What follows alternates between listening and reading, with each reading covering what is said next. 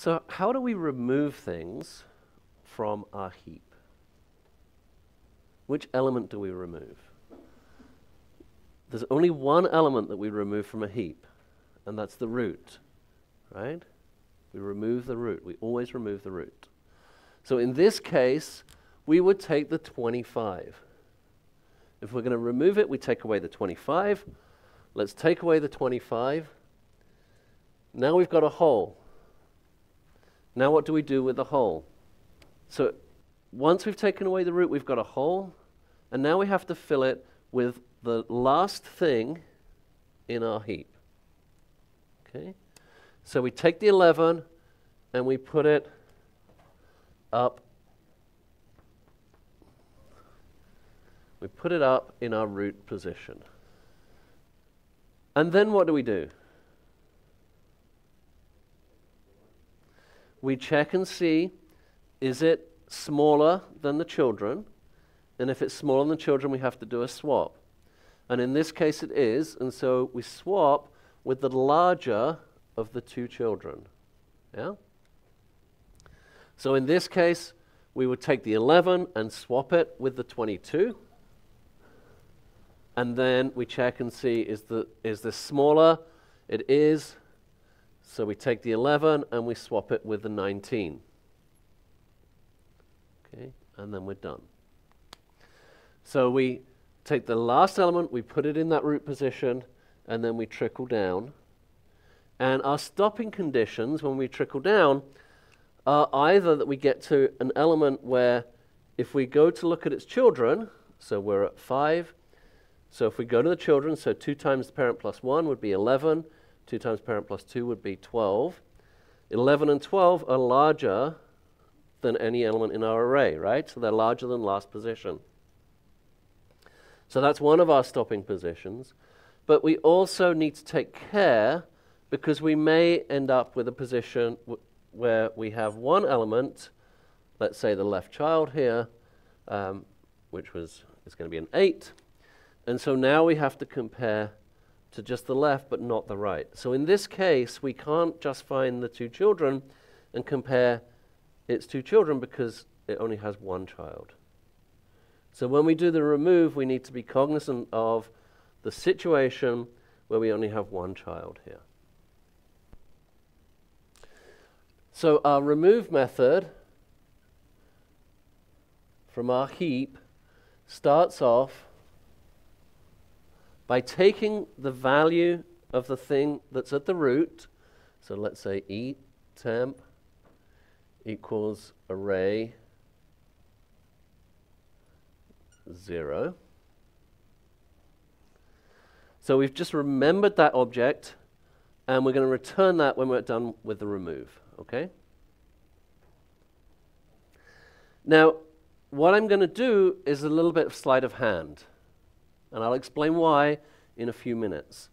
But what I'm going to do when I remove, so if I'm going to remove this 22 here, I'm going to remove the 22, I'm going to swap it, in this case with my 8. I'm going to keep that 22 in the array, but I'm going to decrement my last position counter so that I don't consider that as part of the array. Okay? So what I'm going to do is I'm going to swap, and I'm going to swap position 0 with last position. And as I do that, I decrement my last position counter. Notice the difference in the, the previous example, in the add method, I incremented last position and then used it.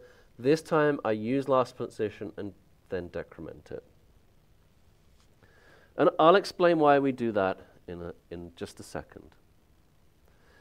So now I've swapped it, and now what I've got to do is I've got to trickle down, and I'm going to have a recursive trickle down method that's just going to take an integer that tells me where to start and of course, initially I start at the root position, at position 0. And then finally I just return TMP. Okay? Let's make this an E. Now I can return TMP.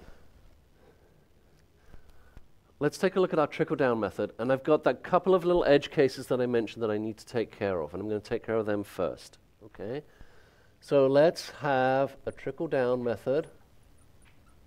Trickle down that takes a position, and that's going to be the parent. Okay? Going to be my parent node. And I'm going to, first of all, figure out where my two children are. It's always good to know where your kids are. They're probably out running around late. So our left child is 2 times the parent plus 1. And our right child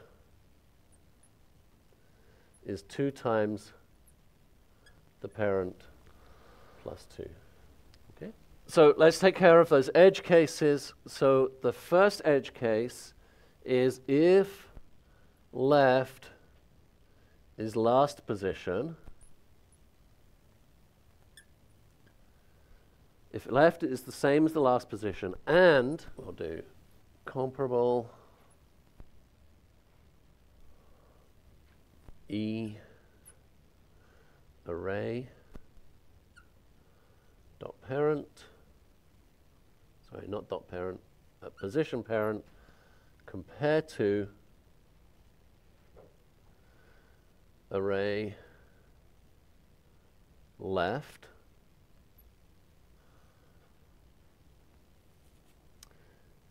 So if our parent is less than our child, so this will be less than zero,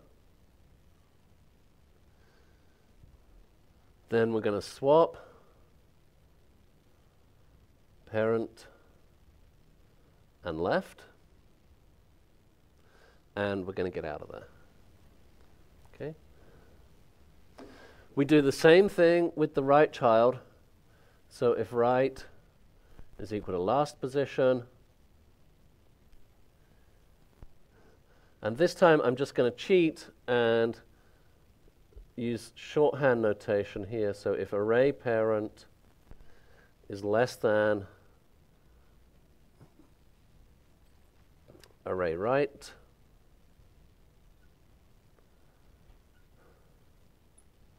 Then we're going to swap parent and right, and we're going to get out of there. Um, you don't need an else here. This is an if. If this is true, we return. So we're done. So we never get to this. Okay? So the only time we're at this if statement is if this is false. So by default, it's an else if. And then we also need to check, for example, if we're here at, at number 6, where 2 times 6 plus 1 is 13, 2 times 6 plus 2 is 14. That's way beyond the end of our position. So if left is greater than or equal to last position, or right is greater than or equal to last position, then we're already done. We don't need to do anything. We're at the end where we can get out of there. And then finally, now we're just at the case of an internal node where we need to say, is what we're looking at, is our parent smaller than our children? If it is, we're going to swap them. What we need to do first is we need to find out which is our left child bigger than our right child, right? Because that's what we're going to swap. So now what we're going to do is we're going to say, if our left child is bigger than our right child, then um, we'll use that. I'm, I'm going to just use regular comparisons and not comparables for this. If array left is bigger than array right, and array parent is less than array left, then we're going to swap parent and left, and we're going to do a trickle up. Sorry, a trickle down on left. because we're going down. Here we can use an else if array parent is less than array right. Doesn't actually matter if you have an, an else there. Then we're going to swap these two. So we swap parent and right. And we trickle down right. Just about made it on the screen.